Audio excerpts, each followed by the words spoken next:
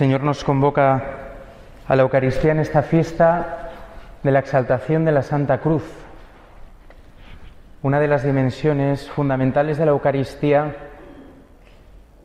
es que en cada Eucaristía, en cada misa que celebramos, de alguna manera subimos al Calvario,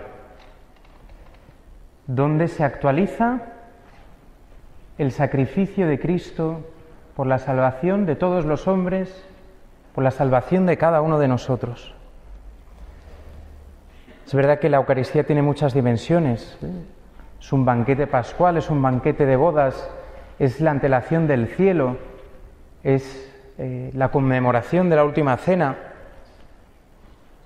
Pero en el centro de todo ello está el momento clave, que como decíamos hace unos pocos días también a colación de las lecturas del Evangelio, ha cambiado toda la historia de la humanidad en un antes y un después de Cristo, que es el signo de la cruz. Y mirad que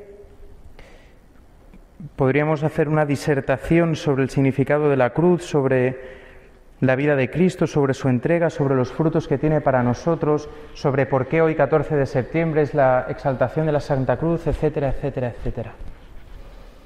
Pero me gustaría hoy simplemente resaltar una cosa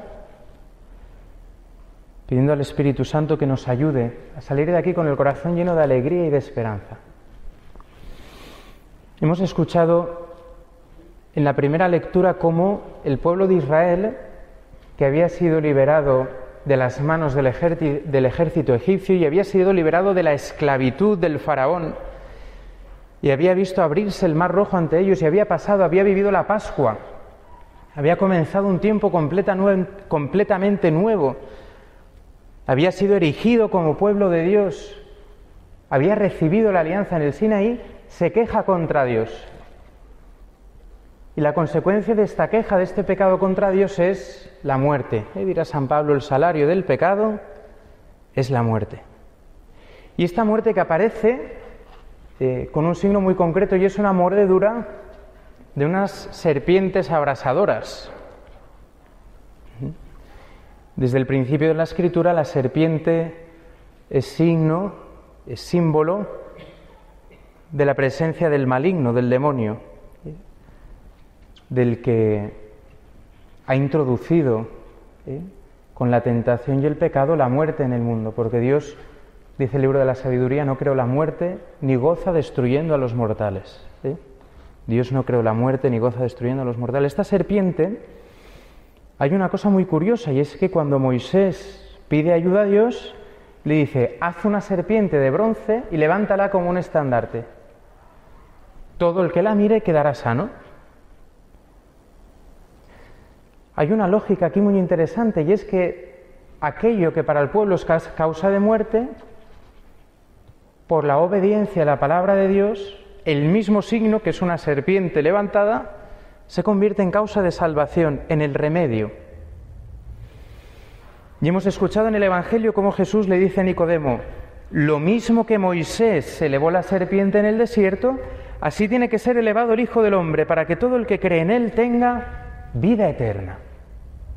Nosotros estamos acostumbrados a la cruz, estamos acostumbrados a ver la cruz como signo del amor de Dios, estamos acostumbrados a ver a Jesús crucificado, Estamos acostumbrados a tener una cruz en casa, en las entradas de los pueblos, a llevar una cruz al cuello, algunos incluso a tatuársela, a ponérsela en un pendiente.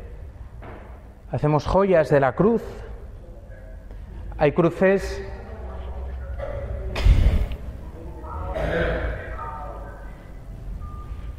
hay cruces hay cruces preciosas, ¿no? Hay eh, grandes iconos, grandes cuadros de la historia del arte, grandes esculturas, grandes figuras en madera, en piedra, en mármol, en marfil, representando este signo de la cruz. Pero mirad, la cruz por sí mismo, la cruz es una máquina de tortura. Eso es lo que es la cruz. La cruz en sí mismo es algo aberrante, es un instrumento de destrucción, es un objeto para causar un sufrimiento terrible y angustioso sobre una persona. Es una muerte lenta y cruel, muy cruel. ¿Eh? Porque no sé si lo sabéis, pero la muerte en la cruz no es ni por desangramiento ni es por dolor. La muerte en la cruz es por asfixia. Y es muy, muy lenta al mismo tiempo que el que está colgado sufre un dolor terrible en todo su cuerpo. Y si contamos que Cristo llega a la cruz después eh, de una pasión mm, con un sufrimiento atroz, pues más todavía, ¿no? Con todo el cuerpo llagado, con el agotamiento, eh, con, los latigazos, con el, cráneo eh, traspasado por la corona de espinas, con los clavos eh, tocando puntos nerviosos que producen un dolor estremecedor e insoportable, y al mismo tiempo, mientras uno va muriendo en la cruz, la pulsión instintiva, el instinto vital le hace no dejarse caer sobre la clavícula y ahogarse, sino que constantemente le hace levantarse sobre los propios clavos para coger aire. Una hora, otra hora, otra hora. La cruz es algo terrible. Lo que expresa Cristo crucificado es la consecuencia del mal, fruto del pecado de todos los hombres, concentrado sobre una sola persona. La cruz no tiene nada de bello en sí misma. Igual que esta serpiente en el pueblo de Israel era signo de, aquello que, hacía morir a los israelitas en el desierto, la cruz nos está hablando de todo aquello que nos mata, que nos destruye, que nos roba la vida, la alegría, la paz, que nos rompe interiormente, que nos hace esclavos, que no nos deja amarnos unos a otros, que nos divide, que hace que aparezca el odio, la división, la destrucción, la enemistad, todo lo que rompe la obra de Dios. Esto es la cruz. Pero siguiendo aquella lógica de aquella serpiente levantada en el desierto, Cristo, levantado sobre la cruz, nos abre una nueva lógica, la lógica de Dios, que es la lógica del amor que es que por grande y atroz que sea el mal que pueda haber en medio de la humanidad o en el corazón de cada hombre, si este mal se abre a la gracia de Dios, a su presencia, a su amor, se deja tocar por Él, se transforma en una fuente de vida y de bendición, se transforma en el instrumento de la salvación, se transforma en la puerta del cielo, en la escalera hacia el cielo se transforma en todo lo contrario. Por eso, igual que Moisés elevó la serpiente en el desierto, cuando el Hijo del Hombre ha sido elevado, todo el que cree en Él no recibe la muerte, recibe la vida y la vida eterna. En la lógica humana y, en la justicia humana, en el derecho de las sociedades, la muerte de Cristo, que es el Hijo de Dios, que es Dios mismo hecho hombre, no traería como consecuencia la salvación y el perdón. Traería como consecuencia un castigo todavía más grande. Porque de todos los pecados que haya podido cometer cada hombre, cada mujer, la humanidad entera, como, como criaturas de Dios, el más grande que podía cometer, ¿cuál sería? Matar a Dios. De todos los pecados del pasado y del futuro, el más grande pecado que puede cometer un ser humano o la humanidad como comunidad entera, en esta solidaridad que existe, decía el Papa Juan Pablo II, en reconciliación y penitencia, en esta solidaridad que hay en el pecado, o podríamos decir complicidad en el pecado, el pecado más grande de toda la humanidad es matar a Dios. Y justo en el pecado más grande de toda la humanidad, justo en la manifestación más atroz, porque es la muerte del más inocente y de la manera más cruel que existía, y no solo con el sufrimiento físico, sino con todo el sufrimiento moral, psicológico y espiritual que conlleva la pasión de Cristo. Jesús, aceptándolo voluntariamente, abrazándolo con amor, lo transforma en la causa de nuestra redención. Llevar una cruz al cuello o ponerse una cruz en casa sin descubrir esto sería algo, mm, ¿cómo decir? Sería algo aberrante, sería algo, eh, no sé, eh, no quiero utilizar esta palabra, pero masoquista, sería algo sádico, mm, sería algo de muy mal gusto, sería algo enfermizo. ¿eh? La cruz se convierte para el cristiano en la fuente de la salvación, en el remedio de sus pecados. Por eso dirá San Pablo, no hagáis vana la pasión de Cristo. No hagáis vana la pasión de Cristo. ¿Cómo se hace vana la pasión de Cristo? Pues yo creo que esto podemos entenderlo de dos maneras, seguramente de más. ¿eh? Una es no dejándonos salvar por Cristo y siguiendo, empecinándonos en vivir en nuestros pecados, sin ser conscientes de la consecuencia que tiene eso sobre nosotros mismos, sobre cada hombre y sobre Cristo mismo. Pero hay otra manera de hacer vana la pasión de Cristo, ¿sabéis cuál es? Es decir, que yo me puedo salvar a mí mismo por mis propias obras y por mis propias fuerzas, sin contar con Cristo. Es creer que no me hace falta Dios para llegar al cielo porque yo puedo solo. Eso es hacer vana la pasión de Cristo. Hoy toda la Iglesia celebra la exaltación de la cruz de Cristo. Este árbol de la cruz donde Él nos ha abierto una nueva vida, donde nos ha abierto un nuevo camino, donde nos ha mostrado que el sufrimiento vivido en el amor y vivido con Él, por Cristo con Él y en Él, ¿eh? nos dirigimos al Padre, vivida la cruz por, por Él, con Él y en Él, todo cobra un nuevo sentido. Se nos abren las puertas del cielo y se nos adelanta ya el cielo aquí en la tierra. Si Cristo no hubiera resucitado, no tendría ningún sentido esto. Pero es que Jesucristo está vivo porque tanto amó Dios al mundo que entregó a su Hijo para que el que cree en Él no perezca, sino que tenga vida eterna. Pide hoy esta gracia al Señor, en esta Eucaristía, Señor, que pueda creer en ti, que pueda creer que en tu cruz he sido salvado. Mirad, eh, siempre que se representa la cruz,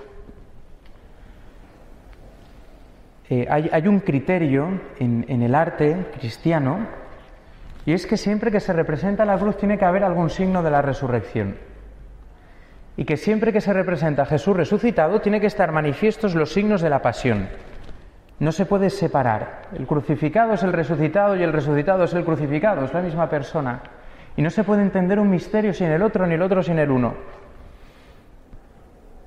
Y una vez, ¿eh? los signos suelen ser el dorado de la corona, a veces que el leño es de color verde, eh, etc. Hay, muchos, ¿no? Los rayos de luz que pueden salir de una cruz gloriosa.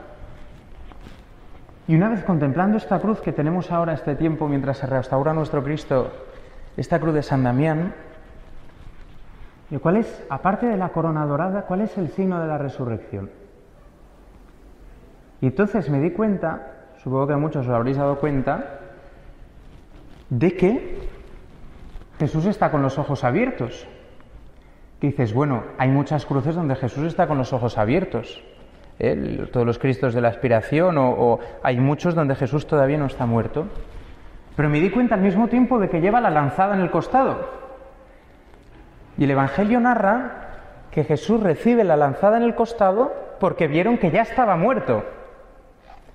Entonces ve resulta que este Jesús que está en la cruz y que ya ha recibido la lanzada, aparece vivo y aparece con un porte, no está eh, colgado cayendo, aparece como con un porte señorial y sereno. ¿Eh? Está como reinante en la cruz. Está ofreciéndose en la cruz y está hablándonos ¿eh? Por eso arriba también aparece la ascensión de Jesús llegando al cielo con los ángeles que lo están recibiendo. Está vivo. Al mismo tiempo que tenemos la escena de la pasión con las Marías y Juan y con el, centurión, etc., arriba lo vemos ya resucitado. En esta fiesta de la exaltación de la cruz hay una buena noticia para ti. Y es que Jesucristo el crucificado ha resucitado. Y esto significa que en tu cruz de cada día, este Cristo que está vivo y resucitado está contigo, levantándote, resucitándote, abrazándote. Si pusiéramos esta cruz del revés sería como un muro ¿eh? al que tú constantemente ¿eh? te golpeas, te cae encima. Pero cuando vemos a Cristo en la cruz sabemos que la cruz es el lugar del abrazo. Hay un himno muy antiguo de, sobre la cruz, ¿no? que dice que la cruz es el lecho de amor donde nos ha desposado el Señor.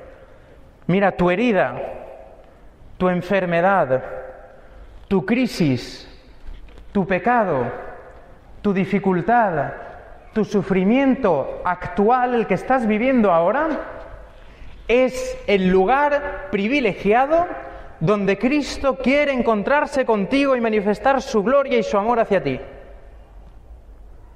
No huyas de Él, no lo rehuyas, Pide al Señor que puedas encontrarte con Él ahí.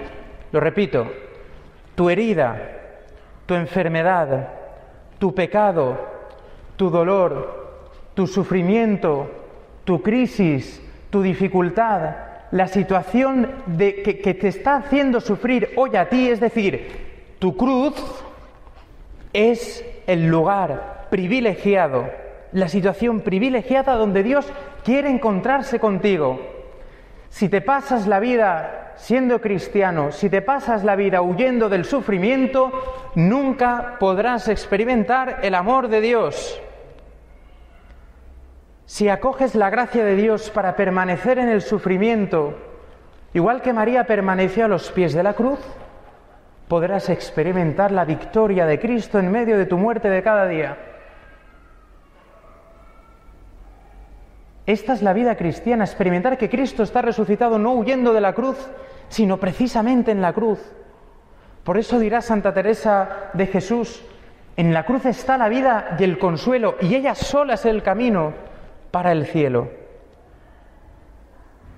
Ahí está nuestra salvación, ahí está la fuente de nuestra vida. Con este signo vencerás. Con este signo vencerás. Es muy importante que tengamos iluminada cuál es nuestra cruz. Es muy importante que sepamos qué es eso que nos hace sufrir y que no lo rehuyamos, porque ahí es donde nuestra fe se fortalece, donde nuestra fe crece, donde da fruto nuestra vida en este árbol nuevo. Dirá otro himno de la liturgia de los salvos de, los, de las horas, dulces clavos dulce árbol donde la vida empieza con un peso tan dulce en su corteza. Pues pidamos al Señor que en nuestra vida cristiana, cada uno en el momento del camino de fe en el que esté, pues todos podamos recibir esta luz de la cruz en nuestra vida. Podamos descubrir que en este camino está la escalera hacia la vida eterna. No por el sufrimiento en sí mismo, lo repito, no por el dolor en sí mismo, no por el pecado y por sus consecuencias que no tienen poder de salvar, sino porque en medio de todo eso, Jesucristo, Dios hecho hombre, se ha hecho presente y se sigue haciendo presente, resucitado, en la vida de cada uno de nosotros, en la vida de la Iglesia y en la vida del mundo entero. Te adoramos, oh Cristo, y te bendecimos